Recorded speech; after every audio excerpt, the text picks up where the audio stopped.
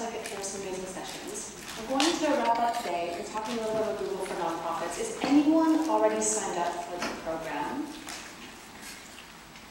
Okay, so mostly fresh faces. That's fantastic. And thank you for signing up. So just to talk a little bit about uh, what I'm going to talk about today. Apologies for the formatting. We quickly moved to, to Windows for the Mac.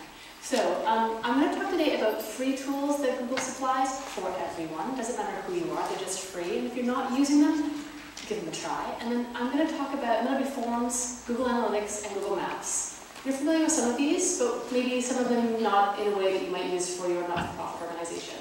And then I'm going to talk a little bit about Google for Nonprofits, which is really how you can get extra things that other people can't get because of your nonprofit status. Sound good? Sound like a plan?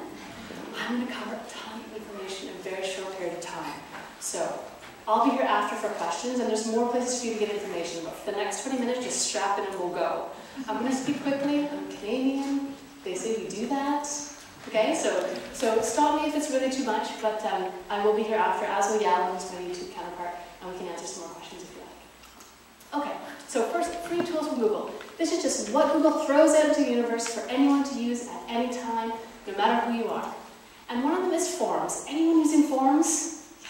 Okay, good. So this is an essential tool. Put it in your tool belt, start using it. It's a great way to collect data. It is the simplest tool I've ever used from the Google suite of products. It's simpler than Gmail.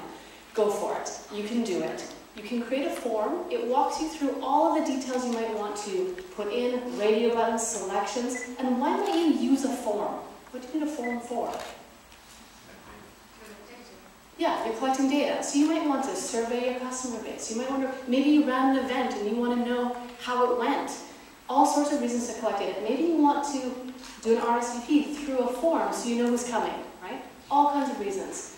It's a simple format. You put your data in. It tells you how to format it. It will create a theme for you beautifully. You don't need to know how to do any HTML. It just does it for you automatically. And then it dumps all of that data into a Google Sheet, which you can open in Excel, do whatever you want with if you're good at that sort of thing. I'm not good at that sort of thing. So we also have automatic metrics that just Google just creates these for you so you can see what your data and your responses look like. Okay, so put that on your tool belt and move on. This is maps. Everyone's familiar with maps, right? Who goes anywhere and any, any at all without pulling out their phone and looking at how to get there? Everyone uses it. But instead of just telling people how to get to where you are or meeting friends, you can use maps for a host of other things. This is an organization called Pogo in the US, and what they're doing is they create safe ways for children to get home online. Okay, so they've map safest routes for children to walk home or to go home with a guardian, and they post it online so people can access it. But there's so many things you can do with maps.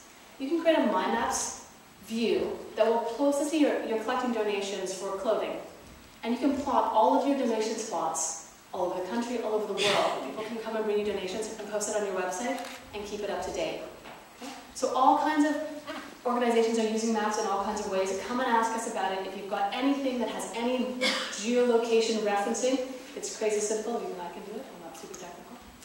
And then also, if you're using maps, or if you're not using maps, make sure your business, especially if it's people coming to you for services or just finding you generally, is up to date on Google.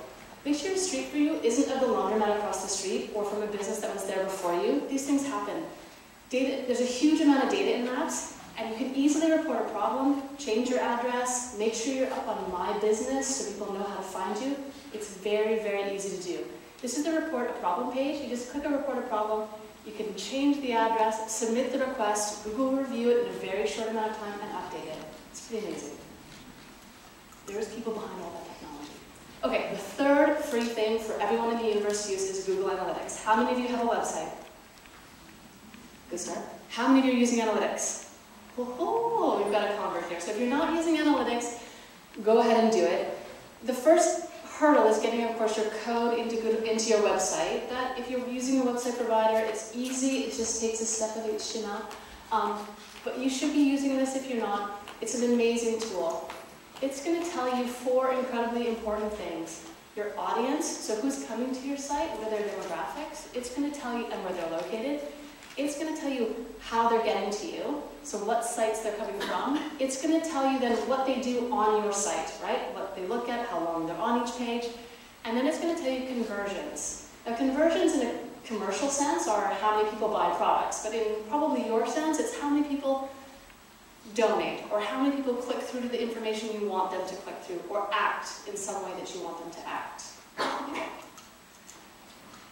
So then one final thing I want to talk about is, is site. If you don't have a website, or if you are paying for someone else to create a site, and maybe you just need an internal site to talk to someone about, or post information, or you want an external site, Google has a, a tool called Site.